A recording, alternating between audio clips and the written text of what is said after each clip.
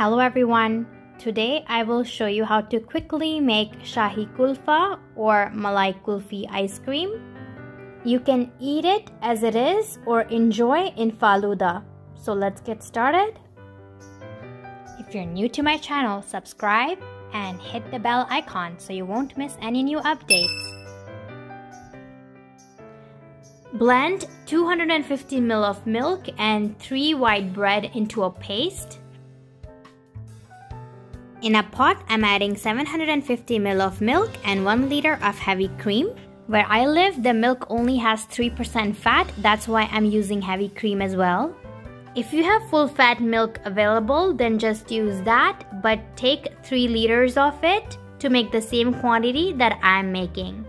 Adding the bread and milk that we blended into a paste earlier. I'm adding 1 and 1 4th cup of sugar. Add sugar as per your preference or if you have condensed milk, use that instead of sugar. I was not able to find khoya, so I'm adding 1 cup of milk powder. If you have khoya, add half cup of it or add 1 cup of milk powder. Add chopped nuts of your choice. I'm using half cup of chopped pistachios, some cashews and almonds. Mix everything and cook on a medium flame.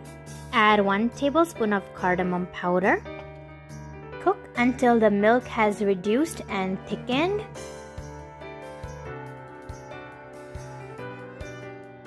Once it has thickened like this, then transfer it into a container. You can transfer this into any container of your choice, whether it be glass or plastic. Keep this in freezer for 12 hours.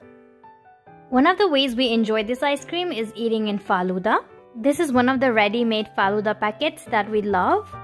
If you happen to use the same packet as I do, then here's a little tip. Do not add water as it mentions on the pack. I just use milk. Makes a very rich tasting Faluda. If you like this recipe, please subscribe to my channel.